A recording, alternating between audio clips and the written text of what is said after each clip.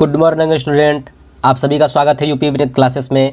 अगर आप कक्षा पाँच में पढ़ते हैं और आपने एक जवाहर नवोदय विद्यालय का फॉर्म भरा है तो ये वीडियो जो है कि उन्हीं छात्रों के लिए है। क्योंकि अब आपका पेपर भी जो है कि नज़दीक है और इसी बातों को जो है कि ध्यान में रखते हुए मैंने जो है कि नवोदय विद्यालय का जो है कि एक ऐसा प्रश्न निकाला है जो कि हर साल पूछता रहता है।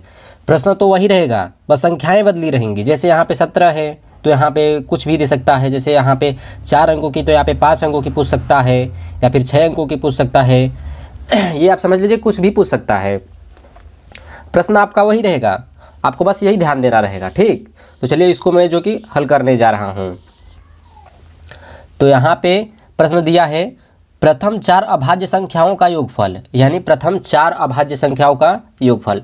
तो सबसे पहले हम हम लोग जो है कि हल करते हैं प्रथम चार अभाज्य संख्याएँ। तो प्रथम चार अभाज्य संख्याएँ होगी हमारा, दो हो गया, तीन हो गया, पाँच हो गया और सात हो गया।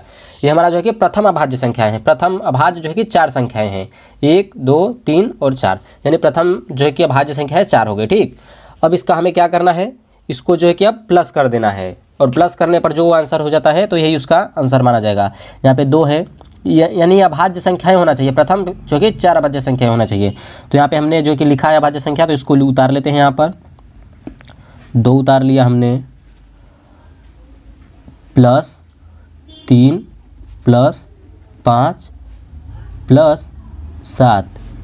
इज़ इक्वल टू जो भी आंसर आएगा, जो है कि लिख देंगे तो यही उसका आंसर जो है कि सही हो जाएगा। अभिष्ट योग फल।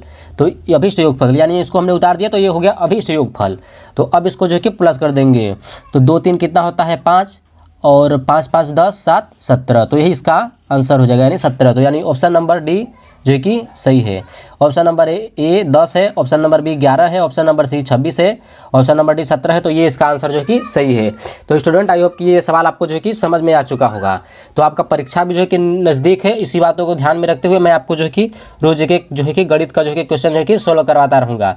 तो आप इस चैनल को जो है कि सब्सक्राइब कर लीजिए। अगर आपको नवोदय विद्यालय में जो है कि पर अगर कहीं आपको नवोदय विद्यालय में पढ़ाई करना है और नवोदय विद्यालय में अगर आप जाना चाहते हैं तो आप इस चैनल को सब्सक्राइब कर सकते हैं। ऐसी मेरे तरफ़ से कोई आपके लिए वो फोर्स नहीं है कि आप जो कि ज़रूर से सब्सक्राइब कीजिए।